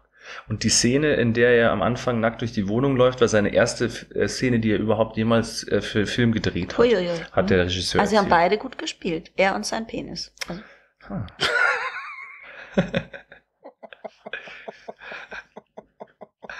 Entschuldigung. Ich stelle mir gerade vor, wie sie sich zwischen den Text unterhalten. Du warst super. Ja, danke. Äh, ungefähr gleich groß. Ja. Dann lass dir nichts anmerken. Ja. Ah, da empfehle ich den ja, Comic äh, von Michael Wild, Pipan. Mein Pipan. Aber das ist äh, hier in Ganz ähnlich. Schleichwerbung, Entschuldigung. Egal. Weiter, weiter im Text. Gut. Ja. Ja, Nee, tut mir leid, Eva hat mich jetzt echt rausgehauen damit. Das wollte ich nicht. Einfach so K.O.-stark verpasst aus ja, dem Nichts. Du wolltest gerade über Tom Messiers Leistung sprechen. Ja, ich, ja, ich weiß, aber jetzt habe ich nur seinen Piepan im. Äh, ja, seht ihr mal äh, diesen Sexismus umgedreht, was das dann macht, ne? Wie das ablenkt von der eigentlichen schauspielerischen Leistung. Wollte ich jetzt hiermit nur mal demonstrieren. Ja. ja. Ich denke jetzt einfach an meinen Piepan und das ist. Okay. ähm, Freut mich. Bitte. Ähm, ich fand, der hatte eine grandiose Ausstrahlung. Äh, der hatte eine unglaubliche Energie und Vitalität. Und nicht nur wegen seines äh, Genitals habe ich ihm unglaublich gerne zugesehen. Also es gibt zum Beispiel eine Szene, da wird eigentlich nur gezeigt, wie er sich was zu essen macht. Und der macht sich äh, eigentlich jeden Tag dasselbe zu essen. Und er erzählt dann auch ganz haargenau, was es ist. Er und wie viel es kostet. Ja, das, das, das wäre ja gesponnen. ne? ähm, und das, der hatte einfach so eine Präsenz. Ich kann es nicht anders beschreiben. So eine richtige Präsenz, dass ich mir echt vorstellen kann, den in Zukunft öfters noch, noch mal zu sehen. Und es würde mich freuen, wenn der vielleicht auch mal in Zukunft in Filmen mitspielt, die jetzt vielleicht nicht ganz so, ähm, ja, böse ausgedrückt, arzi-fazi sind. Ja. Es ging mir auch so, ich fand ihn total, ähm, also er hat da teilweise ein bisschen oft sehr ratlos, man könnte auch böse, bisschen blöd geschaut irgendwie, aber ich fand das eine gute Mischung aus, ähm, ja, ich sage jetzt mal, aus verletzlich, aber schon energiegeladen und so. Also er war kein Schwächling, äh, kein schwacher Charakter, aber er war auch nicht äh, Herr der Lage oder so. Er hat zwar öfter gedacht, er wär's, und er war auch, wie gesagt, jetzt nicht total überfordert, er hat auch Sachen durchgezogen, wenn es sein musste und so. Aber irgendwie hat er das schön abwechslungsreich gespielt. Ich fand es auch mhm. ziemlich gut. Also er kann aber sicher auch sehr gut in der Komödie mitspielen. Also ich fand, es hat auch mehr oder weniger gewollt in dem Film. Da gab es ja auch paar so Sequenzen, wo man echt wo man es lustig war. Ja, vor allem, wenn du ein Interview von der Berlinale anschaust zum Beispiel, da liegt es natürlich auch an der Sprachbarriere, dass er ein bisschen nervöser ist oder so, aber der Typ ist da komplett anders äh, im hm. Film. Mhm. Da ist der echt so eine Wucht. Und in diesem Interview war der so ein kleiner, schüchterner Bubi und so. Das fand ich schon krass, diese Transformation. Ja. Ich fand ihn jetzt auch persönlich nicht besonders sympathisch, muss ich sagen, aber vielleicht hat das sogar dem Film ganz gut getan. Also, dass man so eine Distanz hatte ja eh Er war nicht sympathisch, aber er war aber er war halt interessant. Ja. Voll. Ne? Und ich glaube, für, einen, für einen Charakter, gerade wenn er die, der Hauptcharakter eines Filmes ist, ist es, glaube ich, besser, er ist interessant und dafür weniger sympathisch, als dass er halt sympathisch ist, aber dafür halt einfach nur so bei. Also sympathische also, Hauptdarsteller hat man ja oft genug. Eben, in dem Film gibt es ja auch keine Ka Kategorien wie gut und böse oder so, sondern es sind halt einfach ja. nur Characters. Wenn man sympathische Menschen will, dann hört man Telestammtisch. Punkt. das ist jetzt der Moment, wo ihr mir zustimmen müsst. Okay. Danke. Danke. Oui, oui. Okay. Gut. Alors. Habt ihr noch, habt ihr noch irgendwas zu Synonyms? Ich werde das alles in mein Fazit packen, denke ich. Okay, dann ist jetzt Fazitzeit. Äh, also ihr dürft jetzt kurz äh, sagen, wie ihr den Film fandet. Ihr als Bewertung habt ihr 0 bis 5 Penisse. Das war diesmal ziemlich ja, eindeutig. Was sonst. Ja. Und äh, ihr könnt gerne auch noch sagen, äh, ob, ob es eurer Meinung nach eine gewisse Zuschauergruppe gibt, die den Film unbedingt sehen sollten. Eva, willst du anfangen? Ich habe jetzt vorhin, ich wollte ja noch was sagen zu dem Film. Oh. ähm, Achso, Entschuldigung. Aber das kann ich genauso gut ins Fazit packen. Ich fand halt einfach diese Idee sehr gut mit diesen Wortspielen und dieses, diese sprachliche Dominanz in dem Film. Das hat mir eigentlich ganz gut gefallen, weil ich das persönlich halt auch ganz gern mag. Also so Gedichte und Wortspielereien und so. Und was man da als Symbolik reinpacken kann. Und genau. Ähm, wie gesagt, persönlich hat, war es mir irgendwann zu viel des Artifati-mäßigen. Ähm, aber trotzdem echt anregend. Also ich würde ihn auf jeden Fall empfehlen zum Anschauen. Nicht erregend, anregend. Ähm, und ja, ich weiß, wie, wie viele Penisse gebe ich denn? Ich, also schon dreieinhalb würde ich jetzt schon. Gestandene, ja. ja. Nee, auf jeden Fall, ja. Danke. Nervig bis gut, der Film. okay. Ich wiederhole, dreieinhalb Gestatten. Und dieses Geworfensein in diese neue Kultur und so, also wirklich fand es echt total sensibel eigentlich dargestellt. Aber nur leider ein bisschen zu negativ oder ja, zu hysterisch zum Teil. Aber das will ich mir auch nicht anmaßen. Ich war ja noch nie in der Situation. Ich bin auch noch nie nackt in der Badewanne aufgewacht, äh, wusste nicht, wo ich bin. Aber das mach, machst du ja später dann. Gut. Andy, it's your turn. Ja, es war auf jeden Fall ein interessanter Film und ich ähm, fand es halt auch erst äh, im Nachhinein dann eigentlich spannend. Also während man sich den Film anschaut, fand ich's, äh, ich fand es teilweise ein bisschen langweilig, ein bisschen nervig, ein bisschen unangenehm. aber trotzdem fand ich den Film eigentlich ziemlich gut. Das ist schwierig zu erklären, aber haben wir jetzt ja eigentlich schon gemacht. Also man muss da schon äh, viel reininterpretieren und äh, darf da jetzt nicht erwarten, dass das alles so realitätsnah ist, weil allein die Dialoge sind teilweise so komisch abgebrochen mittendrin und er redet dann teilweise poetisch daher, obwohl er eigentlich, keine Ahnung, das sind mehr gefühlte Dialoge ja, ja, als ja, genau. reale. Und dann tickt er auf einmal wieder aus und man sieht es nicht kommen und das ist alles sehr verspult. Aber ich fand es ähm, eine schöne Thematik, auch dadurch, dass es halt eventuell auch noch so ähm, halb autobiografisch ist, fand ich das interessant, wie der Regisseur damit halt umgegangen ist. Schauspieler fand ich alle wunderbar, auch wenn die halt einfach äh, alle so komisch ein bisschen unangenehm sind. Auch diese zwei, ähm, diese Pärchen, die er trifft, also dieser Emil, die sind einfach irgendwie weird. Man findet nicht so einen Zugang zu nee, denen. Nee, überhaupt nicht. Aber, also Aber sie machen das gut. Also ich, ich fand die äh, gut, interessant, nervig, äh, strange, keine Ahnung. Ein bisschen wie in einem David Lynch-Film teilweise oder so. Also vielleicht, Auf jeden Fall ähm, fand ich auch vor allem den Look und die Kamera ziemlich cool auch teilweise diese musikalischen Einsprengsler und so, aber gerade die Kamera fand ich wunderbar, wie die teilweise halt äh, sehr dynamisch war und geile Szene, wo die zwei zusammen Musik hören und die äh, Freundin reinkommt und den Lichtschalter an und ausmacht, mhm. wie da die Kamera hin und her schwenkt. Solche Sachen fand ich einfach ziemlich witzig und kreativ. Äh, deswegen kurze, lange Rede, kurzer Sinn. Ich gebe dem mal, ja, auch drei Punkte, würde ich mal sagen. Drei, drei beschnittene Penisse. Okay. Dieses mit dem Licht fand ich übrigens auch sehr schön zu deuten. Also das war auch so dieses Bruchstückhafte, weil es wurde ja alles so zerfetzt in dem Film irgendwie. Also ich glaube, man kann es ganz gut zusammenfassen. Ich bin froh, ihn gesehen zu haben, aber ich würde ihn jetzt nicht nochmal anschauen. Ähm, ja, damit äh, hat Eva eigentlich mein Fazit schon kom kompakt wiedergegeben. Ähm, ich fand den Film auch an sich sehr interessant. Ich fand ihn sehr vital, äh, sehr kraftvoll, vor allem dank des Hauptdarstellers und da steckte wirklich sehr, sehr viel drin, aber es war mir irgendwann einfach zu viel, dass ich es einfach nicht mehr verarbeiten konnte. Das liegt vielleicht einfach daran, dass ich zu doof dafür bin, ich weiß es nicht, ähm, aber wirklich ein interessanter Film. Ähm, ja, wer auf sowas, wer sowas mag, also wer eine im positiv gemeint Herausforderung sucht, äh, und viel Spaß dabei hat, äh, Filme zu deuten und zu interpretieren, der sollte sich Synonyms definitiv ansehen. Es lohnt sich.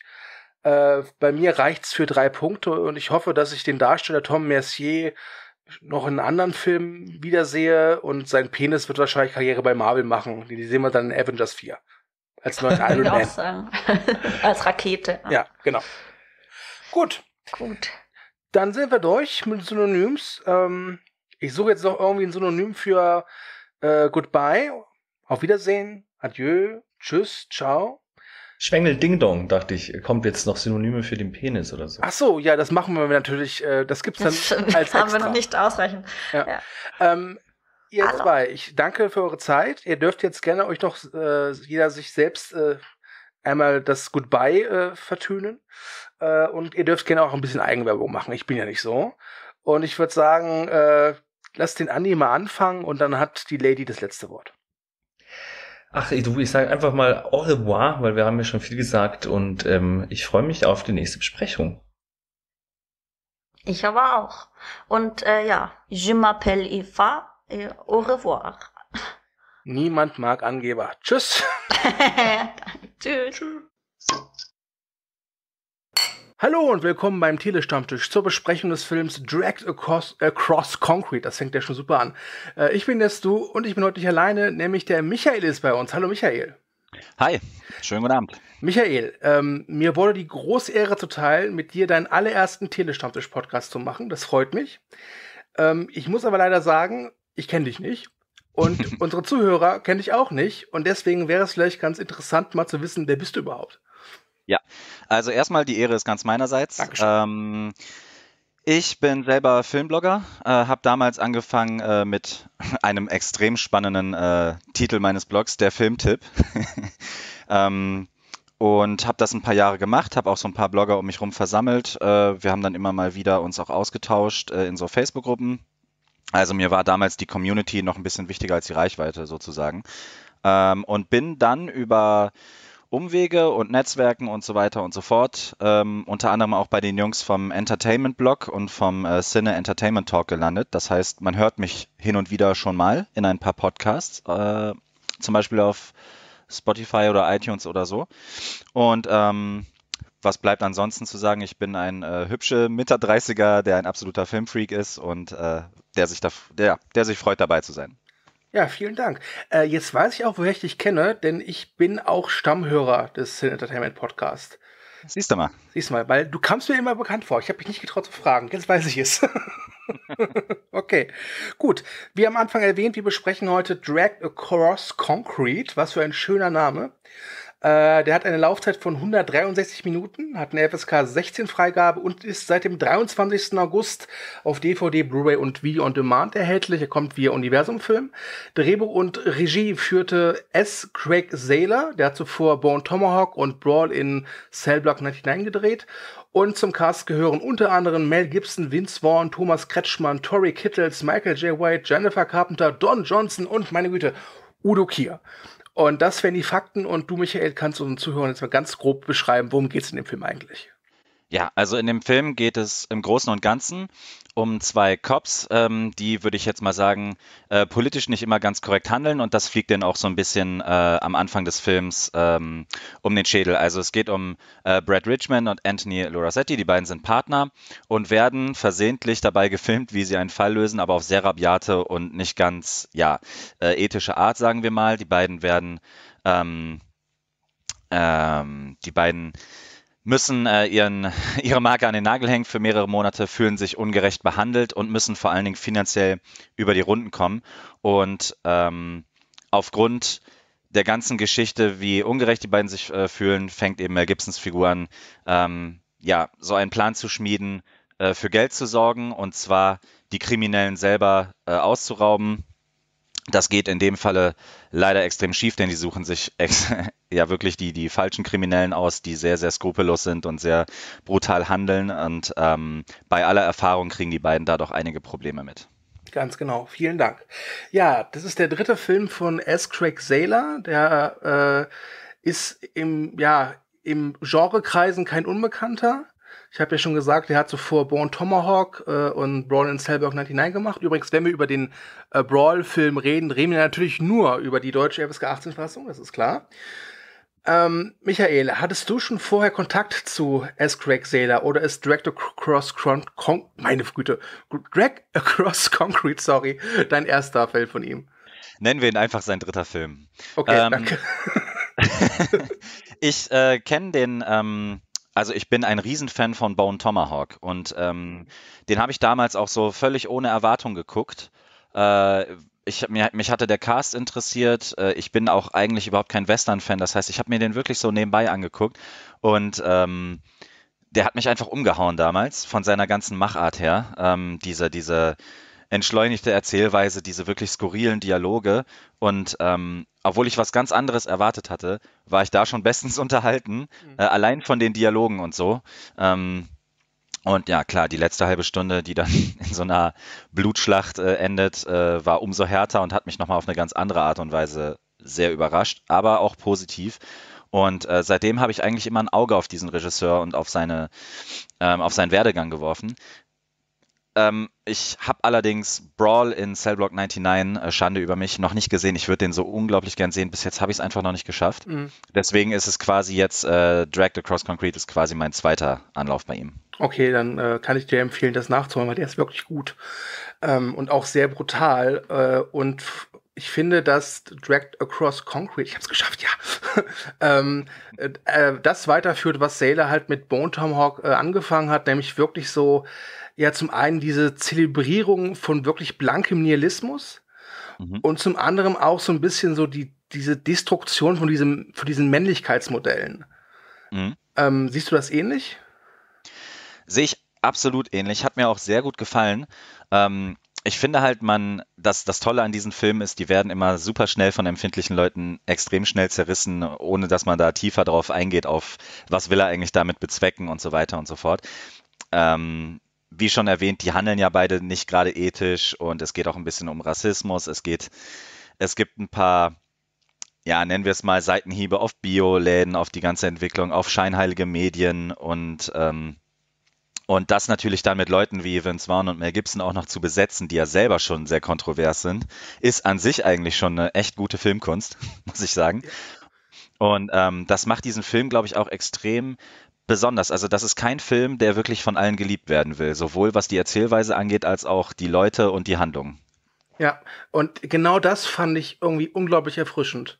Weil ich hatte im Vorfeld, als der Film äh, seine Premiere gefeiert hat, gab es ja diese Welle von Entrüstungen, von das geht ja gar nicht und das ist kein Film, man sich angucken sollte, äh, politisch unkorrekt. Und dann habe ich ihn mir halt angeguckt und dachte mir, ich kann verstehen, dass man ihn so auffasst, aber ich fand, finde, dass der Säler da genügend Ebenen reingebaut hat, dass es eben nicht nur so ein, so ein blanker äh, Skandalfilm ist. Ich finde, da steckt viel drin. Ja, auf jeden Fall. Also ich finde auch, selbst wenn, also erstmal finde ich schon mal interessant, dass die Figuren, ich nenne sie jetzt mal vorsichtig Anti-Helden, aber eigentlich sind sie nicht mal das. Es sind einfach nicht diese super glatt geschliffenen äh, Heldenfiguren, die man eigentlich aus so 90 Prozent der anderen Filme kennt. Aber warum soll man nicht denen mal so über ihren äh, Alltag und über ihren Werdegang schauen? äh, man, ich, ich bin immer, ich denke immer, man, ich muss die nicht unbedingt gut finden. Trotz alledem, ich meine, ja, die handeln unethisch, die haben auch nicht die perfekte Meinung, aber das fliegt denen ja auch um die Ohren. Also da, man, man kriegt ja trotzdem mit, was die Reaktion darauf ist. Und je weiter der Film geht, desto mehr, ja, also ich finde, das, das ist vielleicht am Anfang so. Am Ende ähm, ist es fast eher Tarantino-esque, würde ich schon fast sagen. Ähm, dass, dass die sich mit ihrer eigenen Einstellung eigentlich ständig auch selbst im Weg stehen. Ähm, und die andere Seite wird ja überhaupt keinesfalls als die bessere oder schlechtere dargestellt. Also da treffen ja eigentlich eine Menge verkorkster Figuren aufeinander. Ja, äh, und ich muss auch gestehen, ich bin, ich finde immer diese, diese, diesen Kritikpunkt, in dem Film gibt es keine sympathischen Figuren, finde ich immer ein bisschen affig. Weil ich mir immer denke, ich will ja nicht unbedingt sympathische Figuren haben, ich möchte interessante Figuren haben. Genau. Und genau. davon hat dieser Film halt echt eine Menge. Und ich bewundere es aber auch gleichzeitig, wie teilweise rabiat er mit ihnen umgeht. Äh, bestes Beispiel dafür ist, ich weiß den Rollennamen gerade nicht mehr, aber die Rolle, die Jennifer Carpenter spielt. Mhm. Was der, ich möchte ja nicht spoilern, aber was der Säler da macht, das ist wirklich großartig. Also ich habe mich lange nicht mehr dabei erwischt, dass ich wirklich da saß und dachte, okay, du hast mich, ich, ich bin echt platt, was du gerade gemacht hast. Ja, ab da geht für mich der Film auch eigentlich so richtig los. Also ich mag Filme, die auch so äh, diese berühmt-berüchtigte entschleunigte Erzählweise haben. Ich kann mich da schon von Anfang an drauf einlassen, aber bei dem Film habe ich so ein bisschen drauf gewartet, so, okay, wann kommt jetzt dieser, dieser Kniff, der mich dann auch wirklich festhält? Und diese Figur von Jennifer Carpenter, die man bis zu einer gewissen Szene ja überhaupt nicht, ich glaube, da waren schon mindestens 30, 40 Minuten rum, da hat man die ja noch gar nicht wirklich äh, gesehen. Und trotzdem nimmt er sich so übel viel Zeit, diesen Charakter vorzustellen. Und äh, auch, auch, noch, auch, noch, auch noch so ein, ja, ich würde jetzt mal sagen, kein 0815-Charakter. Also sie hat äh, ex, extreme Züge, mentale Züge, mit denen man vielleicht auch nicht gerade rechnet in dem Moment. Und wie das alles eingeflochten wird in die Gesamtstory und wie schnell, sag ich mal, ähm, mit diesen Figuren gearbeitet wird im Nachhinein und auf welche Art und Weise, das fand ich so neu und überraschend. Und das schafft er halt immer wieder. Das finde ich halt wirklich auch interessant. Ja, ich hatte auch das Gefühl, also wenn man, es gibt ja diese Feel-Good-Filme, ja, ich, gegen die ich an sich nichts habe, aber es gibt halt schon welche, wo ich mir denke, die sind mir dann zu, zu stumpf und auch zu manipulativ. Und ich glaube, dass dieser Dragged Across Concrete so die absolute Gegenthese zu diesem Film ist. Weil ich habe mich selten aber erwischt, dass es mir nach dem Film nicht schlecht ging, aber wo ich halt wirklich das Gefühl hatte, okay, hier hat wirklich ein Regisseur mit dem Werkzeug des Genres wirklich eine Aussage getroffen. Und die ist halt nicht besonders freundlich. Ja. Ja, also, also im, im, Prinzip sagt der Film ja äh, eigentlich aus, ja, sorry, wir sind alle gefickt. Also um es ganz grob zu beschreiben. Ja, ich mag dieses, ähm, ich, ich mag einfach, ich bin generell ein Fan äh, von Filmen, die sich mit, mit Menschlichkeit beschäftigen und Menschlichkeit ist eben Unperfektion mhm. und das ist, hat eben dann auch mit, mit Charakteren zu tun und mit dem Charakter und, und der Einstellung von den Figuren und so. Und da ist der Film ja mal wirklich bis in die kleinste Nebenrolle gespickt mit super interessanten Figuren, über die über jede dieser Figuren hätte ich gerne noch mehr erfahren, ehrlich gesagt. Und ich bin mindestens bei drei, vier Figuren, den habe ich auch echt gespannt gefolgt und ich war am Ende im Finale, nennen wir es mal Finale oder sogar Afterfinale, habe ich da wirklich gesessen und dachte so, ach kommt schon, jetzt, jetzt krieg, kriegt's doch mal hin, versucht mal euren eigenen Stumpf, äh, eure eigene Sturheit da zu überwinden oder was weiß ich und man schaut diesem Schaden immer weiter zu. Es ist wie ein Unfall sozusagen. Ähm, und äh, ja, aber wenn du das erreichst und dazu noch erreichst, dass der Film kontrovers diskutiert wird, dann finde ich, hast du immer schon ganz, ganz viel geschafft. Ja, äh, du hast ja schon erwähnt, Mel Gibson und Vince Vaughn sind äh, nicht gerade Persönlichkeiten, die äh, dafür bekannt sind, dass sie alle lieb haben. Ja, Mel Gibson hatte in der Vergangenheit ja diverse Skandale äh, und Vince Vaughn ist, glaube ich, äh, steht offen dazu, Donald Trump gewählt zu haben, wenn ich mich recht erinnere. Äh, wie hast du die beiden denn gefunden? Denn ich finde schon, dass der Film mit ihnen am meisten wirbt, weil es naja, sind auch die bekanntesten zwei Darsteller. Wie fandest du ihre Darstellung in dem Film? Also erstmal, ähm, um auf die beiden Schauspieler äh, zurückzukommen, ich, ich bin schon so eingestellt, ich würde vielleicht einem Mel Gibson nicht auf offener Straße die Hand geben, zum Beispiel, okay? Aber ich schaue mir trotzdem noch seine Filme an, weil, ähm, mein Gott, er hat jetzt er hat Scheiße gebaut und wie gesagt, auch eine lockere Entschuldigung reicht da meiner Meinung nach für, nicht für aus. Aber es ist immer noch sein Berufswerk, äh, Schauspieler zu sein. Und das sehe ich bei Vince Vaughn auch so. Mein Gott, hat er Donald Trump gewählt? Ja. Würde ich ihn dafür auslachen? Ja. Haben 50 Prozent oder mehr Donald Trump gewählt? Ja. Also er ist vielleicht einer, der dazu steht und das ist meiner Meinung nach kein Fehler, ganz ehrlich, weil dann ist er vielleicht sogar einer noch von denen, die man bekehren sollte. Bei anderen weiß man es nicht. Ja, wir könnten jetzt vielleicht auch jahrelang Chris Pratt und Jennifer Lawrence abfeiern und dann kommt irgendwann raus, die gehören dem Kuckucksklan an. Keine Ahnung, weiß man noch nicht. Er hat den Fehler gemacht, das irgendwann mal erwähnt zu haben. Yes, nicht mein Lieblingstyp, aber mein Gott. Und schauspielerisch finde ich die beiden halt echt über allem erhaben in diesem Film. Die passen als Duo wie die Faust aufs Auge. Mhm. Ich glaube auch, dass da ganz viel das ist jetzt vielleicht ein bisschen filmromantisches Denken, aber ich glaube, da ist ganz viel persönliche Nähe zu den Charakteren ja. in, in, in diesen beiden Figuren, die sie spielen. Klar, ganz typisch, Cops, das ist äh, gut. Das ist in Filmen nun mal so, das sind meistens äh, solche Gestalten. Aber es sind beides so abgehalfterte. Mel Gibson spielt diesen etwas abgehalfterten Typen, Vince Vaughn spielt den ich will ihn jetzt nicht äh, verkappten Gutmenschen nennen, aber der möchte, glaube ich, schon eigentlich ein, der, der mit seiner, mit seiner Ehe oder mit seiner beziehungsweise Freundin und dem Leben, was er sich damit vorstellt, fängt er, glaube ich, so langsam an, sich ein bisschen für dieses gute Leben zu interessieren und ist, glaube ich, steht so ein bisschen dazwischen. Und dem tut auch mehr leid, was da geschehen ist. Und dem tut auch, der hat auch viel mehr Respekt vor dem, was da passieren könnte. Lässt sich, glaube ich, auch einfacher manipulieren von, von Mel Gibsons Figur. Aber die beiden zusammen der Sarkasmus, diese ganze, diese ganze Unterhaltung, dieses pseudoprofessionelle in Prozenten sprechen und was weiß ich, das machen die so super. Also mir, ohne die beiden hätte der Film so nicht funktioniert. Ja, da gebe ich dir vollkommen recht. Ich äh, finde auch, dass äh, ich habe, glaube ich, Mel Gibson noch nie so gut gesehen als in Anführungszeichen ernsthaften Schauspieler, weil er wirkt auch wirklich so müde immer. Ja, und so, er, und er, so wie so eine Kampfsau, wo du aber echt allein durch die Gestik merkst, er hat eigentlich keinen Bock mehr zu kämpfen, aber er muss halt. Ja, ob es jetzt eben auf der Straße ist oder, oder Bürokratie oder so, der wirkt einfach unglaublich zerfurcht und müde. Und ich, ich bin jetzt auch kein Mel Gibson-Fan, aber ich, ich habe auch nichts gegen ihn. Also Lethal Weapon, finde ich, ist einer der besten Actionreihen aller Zeiten. Äh, und Mad Max 2 ist auch über alle alles erhaben. Und wie, ich gebe dir auch vollkommen recht. Also ich würde ihm jetzt, glaube ich, auch nicht die Hand schütteln wollen, aber als Darsteller, finde ich, liefert er hier vielleicht, also was heißt vielleicht für mich eine seiner besten Leistungen ab. Auf jeden Fall. Ich glaube auch, er hat so ein bisschen den Vorteil, einfach, dass das kein Film ist, der mit einer 200 äh, Millionen Dollar Produktion bei Hollywood durch die Marketingstudios brettert, sondern da hat er einfach weniger zu verlieren, kann sich mehr auf seine, auf, auf das, was er selber gerade so durchmacht, was er ist und so konzentrieren, kann das mit in diese Rolle einfließen lassen. Und ich glaube einfach, das ist dem wie auf den Leib geschnitten, dieser Film. Ich könnte mir auch wirklich vorstellen, da hat der äh, Sailor auch keine Sekunde an eine andere Figur gedacht. Ja. Also da bin ich mir fast sicher. Und du hast schon recht, Mel Gibson hat großartige Filme vorher auch gemacht. Viel auch Overacting betrieben, aber ich mochte ihn schon immer. Und wenn ich Filme nicht gucken würde, nur weil ich die Leute nicht mag, dann hätte ich auch keinen Tom Cruise-Film gucken dürfen und was weiß ich. Also das, da bin ich noch zu sehr Filmfan und zu sehr auch interessiert an Kontroversität oder nennt man das so? Keine Ahnung. Ich finde das halt wirklich mega interessant, dass eben diese Figuren auch noch in diesem Film eine Rolle spielen. Aber warum darf man keine Tom Cruise-Filme gucken? Ich meine, der Mann ist doch Täter Level 10. Ja, ich, äh, also kennt man ja diese ganzen Scientologen-Geschichten und was weiß ja, ich, was er ja, da, ne? Ja. Und diese Stunts langsam, die, ich, ich fand immer, das war ein großartiger Schauspieler, aber der, der ist auch noch eine selbst, nur noch eine Selbstparodie von sich selbst so ein bisschen.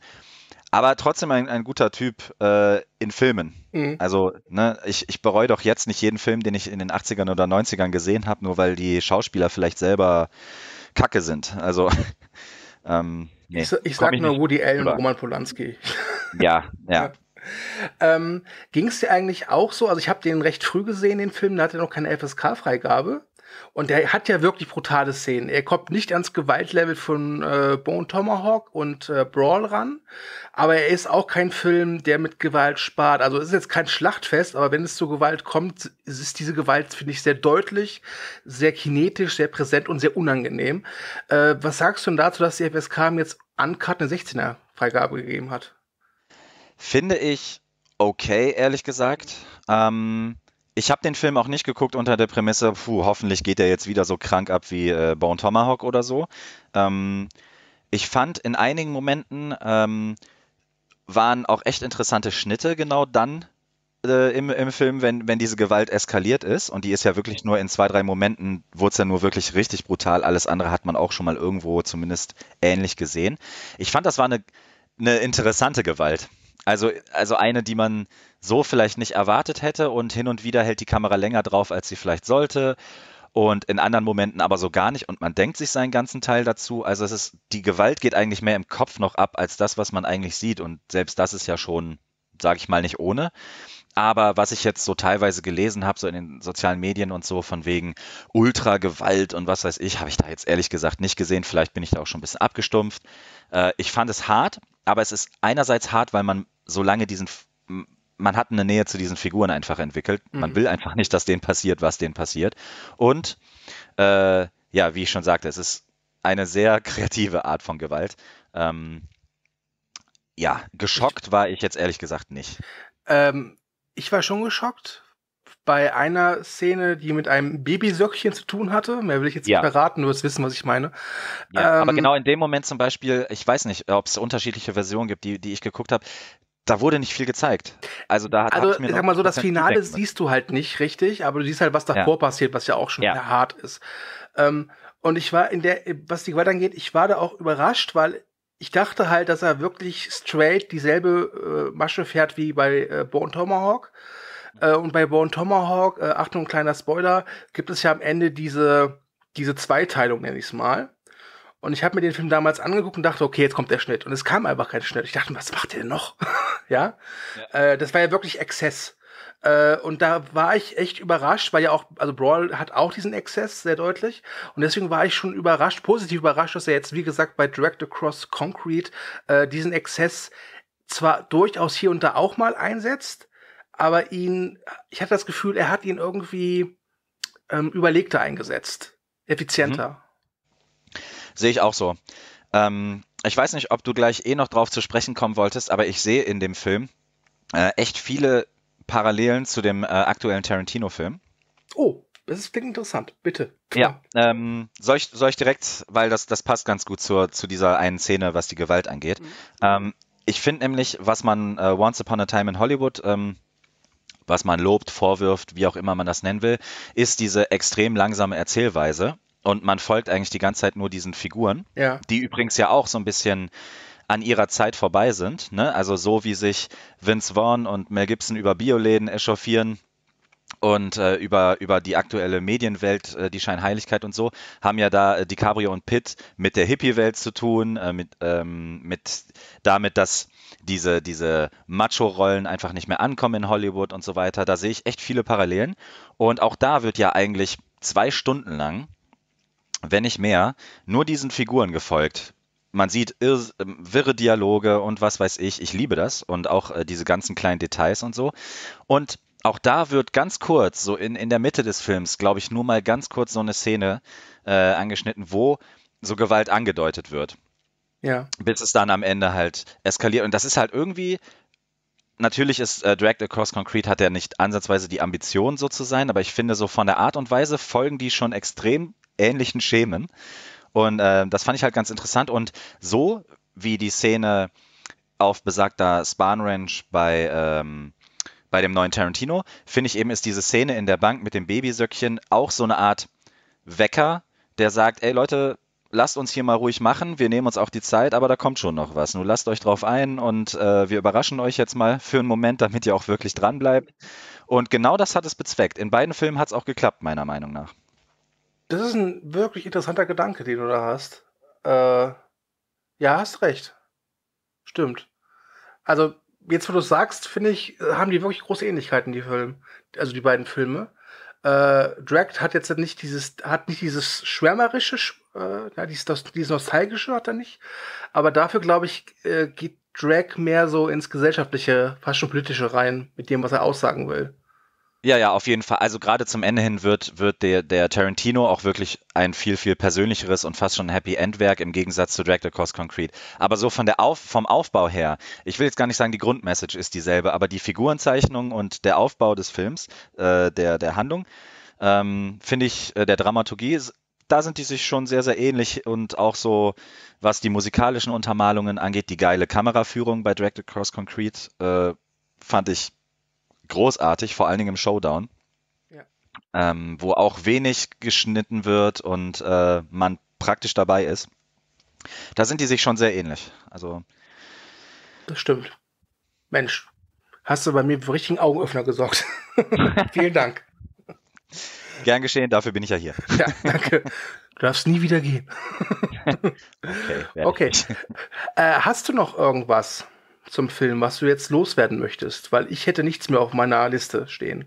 Also, was ich noch sagen, äh, was ich noch erwähnen wollen würde, wäre halt, ähm, dass wenn man auf, wenn man auf äh, Schauspielerkino steht, wenn man auf sehr geile Dialoge steht. Also ähm, ich habe es ja kurz erwähnt, dieses in Prozenten denken finde mhm. ich fand ich großartig. Auch dass keiner der beiden das hinterfragt. Die kennen sich schon jahrelang, die reden einfach nur noch so miteinander. Äh, dann gibt es so so kleinere Wiederholungen, die finde ich auch ganz, ganz großartig. Also sei es jetzt diese Szene, wo die da nachts durchfahren und äh, der Typ sagt so, Vorsicht, Kühlschrank, Opossum, tote Ratte, da wird so voll analysiert. Äh, von den Kriminellen wird analysiert, was da links und rechts liegt und die Cops machen das fünf Minuten später exakt genauso. Äh, das, da gibt es halt immer so kleine Szenen, die feiere ich einfach ab, weil die so, die sind halt frisch, die sind anders. Die, die würden jetzt in einem Fast and the Furious oder in einem Marvel-Film so nicht auftauchen. Und ähm, ja, also ich finde, der Sailor ist ein sehr, sehr geiler Geschichtenerzähler und ich freue mich auf jeden Fall auf alles, was da noch von ihm kommt. Ja, da kann ich nur beipflichten. Dann würde ich sagen, kommen wir mal zum Fazit.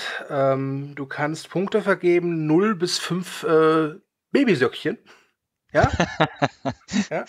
Äh, und vielleicht kannst du unseren Zuhörern noch sagen, äh, ob du, ob es eine bestimmte äh, Zuschauergruppe gibt, die für Drag the Cross Concrete vielleicht besonders geeignet wäre.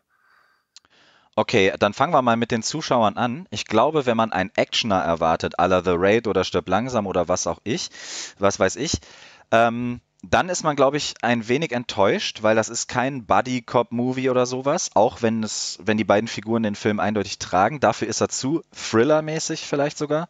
Ähm, dazu bringen die Figuren selber zu viel eigene Story und Drama mit. Ich würde den eher in so die Schiene Nocturnal Animals schieben oder ähm, so Fincher-Movies vielleicht. Ich, ja, in, in so eine Richtung würde ich den eher schieben. Und ähm, wer aber auf, auf so Kuriositäten steht, vielleicht auch wer auch auf Tarantino-Movies steht, ich glaube, dem gefällt dieser Film absolut. Wer auf die anderen Sailor-Filme stand, dem wird der Film sehr gut gefallen. Ähm, ich habe Brawl in Cellblock 99 noch nicht gesehen, deswegen kann ich es da nicht sagen. Aber man muss sich, glaube ich, schon ein, ein wenig Geduld mitbringen, was die Erzählweise angeht, sonst funktioniert es nicht. Ähm, das war aber auch bei Bone Tomahawk schon der Fall. Und deswegen würde ich sagen, ich selber würde ihm sogar vier von fünf geben. Mhm. Allein schon wegen der Darsteller und wegen der Erzählweise, weil ich persönlich einfach exakt auf sowas stehe und viel zu lange gewartet habe, mir den Film anzugucken. Ähm, der durchschnittliche Zuschauer mag vielleicht eher drei von fünf geben, eben wegen dieser Dinge, weil eben nicht jedermann auf diese Erzählweise, auf diese Dialoge und so steht. Aber dann seid vorher lieber vorsichtig und erwartet da keinen Actioner, wo ständig nur geballert wird, äh, weil Mel Gibson dabei ist oder was weiß ich, sondern das ist wirklich äh, auch Schauspielerkino und da muss man sich schon drauf einlassen können. Ja, ähm, ich danke dir. Du hast nämlich im Prinzip genau das gesagt, was ich auch sagen wollte, nur nicht ganz so professionell. Äh, ich ich gebe auch vier von fünf Babysöckchen. Äh, das heißt, zweimal Empfehlungen von uns für Drag to Cross Concrete. Verdammt, jetzt noch einmal zum Schluss ist doch falsch geklappt. Ja. Ähm, das heißt, ein sehr sehenswerter Film. Auf jeden Fall. Gut, dann bedanke ich mich für deine Zeit. Ich hoffe, wir haben in Zukunft nochmal die Gelegenheit zu podcasten und dass du dich eben beim Telestammtisch einlebst und einplauderst. Äh, ich sage damit Tschüss und überlasse dir die letzten Worte. Alles klar. Ich danke dir auch. Danke für, für die Einladung dabei zu sein. Und äh, ja, ich würde mich freuen natürlich, wenn wir noch häufiger über Filme quatschen. Ähm, und ja, bin einfach happy dabei zu sein und demnächst gibt es dann mehr.